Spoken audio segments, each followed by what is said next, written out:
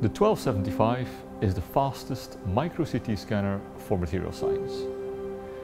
It combines the extreme ease of use with a fully automated workflow without compromising image quality.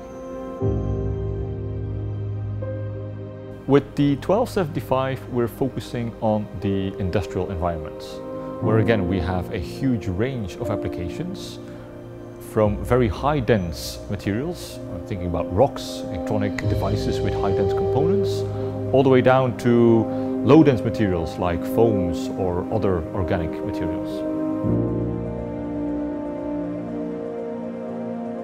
The very fast scan time of approximately 65 seconds allows high throughput with reliable and accurate results even in the most challenging environment.